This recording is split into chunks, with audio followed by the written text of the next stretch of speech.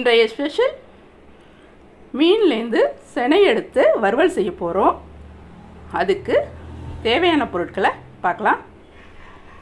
மீனை க்ளீன் பண்ணி பீஸ் போட்டு எடுத்துக்கிட்டேன். அடுத்தது இந்த மீனில் உள்ள செனையை வச்சு தாங்க நாம் அடுத்தது வறுவல் செய்ய போகிறோம் அடுத்தது செனையை பார்க்கலாம். மீனிலேருந்து இந்த அளவுக்கு செனை கிடச்சிருக்கு. இந்த செனைக்கு தகுந்த மசாலாவை பார்க்கலாம். மிளகாத்தூள் ஒரு ஸ்பூன் எடுத்திருக்கேன். சால்ட் மஞ்சள் பொடி அரை டீஸ்பூன். இதுதான் செனை வறுவல் வந்து செய்யறதுக்கு தேவையான அளவுகள். இந்த அளவுகளோட கிச்சனுக்கு போகலாங்க. சினை வறுவல் செய்யறதுக்காக ஸ்டவ் ஆன் பண்ணி கடாய் வச்சிருக்கேன். அதில் முதல்ல நம்ம சேர்க்க வேண்டியது சினையை சேர்த்துடலாம். அடுத்தது நம்ம சேர்க்க வேண்டியது ஒரு ஸ்பூன் அளவுள்ள மிளகாத்தூள்.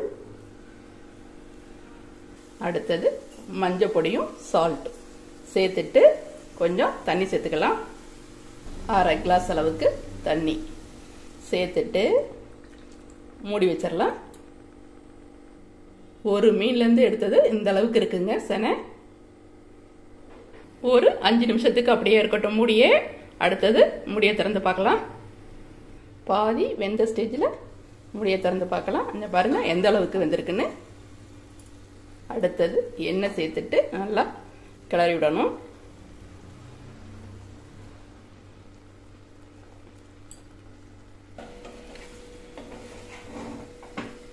நல்லா கிளற கிளற நல்லா உதிரி உதிரியாக வருங்க.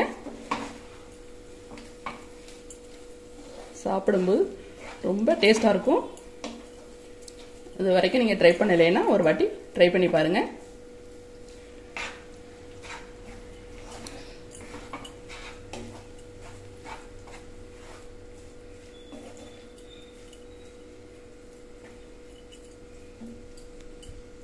இன்னும் கூட கொஞ்சம் எண்ணெய் சேர்த்துக்கலாங்க.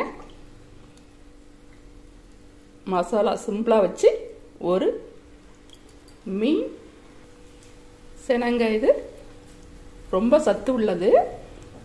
இது வரைக்கும் நீங்கள் ட்ரை பண்ணலைன்னா ஒரு வாட்டி ட்ரை பண்ணி பாருங்கள் நாம் சாப்பிடும்போது ரவாவை சாப்பிடும்போது எப்படி எப்படி ஃபீலிங் கிடைக்குதோ அதே மாதிரி இருக்குங்க. ஆனால் டேஸ்ட்டு அதிகமாக இருக்கும். சமையலோட பேசிக் தெரியணும்னா திருவாரூர் சுபா சமையலை சப்ஸ்கிரைப் பண்ணிக்கோங்க. உங்கள் ஃப்ரெண்ட்ஸுக்கும் உறவினர்களுக்கும் ஷேர் பண்ணுங்கள் நீங்கள் மீன் வாங்கும்போது பெரிய மீனாக இருந்து அதில் சிலை இருந்துச்சுன்னா வேஸ்ட் பண்ணாமல் இது மாதிரி பொறிச்சு கொடுங்க. குழந்தைங்களுக்கெல்லாம் ரொம்ப பிடிக்குங்க. ரொம்ப ஹெல்த் இது. வேஸ்ட் பண்ணக்கூடாது. பாருங்கள் எந்த அளவுக்கு வந்திருக்குன்னு பாருங்கள் உதிரி உதிரியா?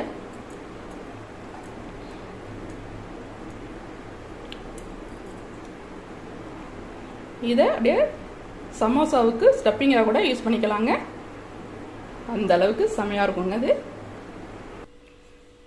சினை வறுவல் வந்து மீன் வறுவலோட நேரம் குறைவு தாங்க வறுக்கிறதுக்கு. ரொம்ப ஈஸியாக செஞ்சு முடிச்சாச்சு.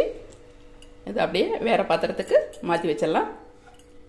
பாருங்கள் உதிரி உதிரியாக பார்க்கும்போதே செம்மையாக இருக்குல்ல? சாப்பிடும்போது இன்னும் சுவையாக இருக்குங்க.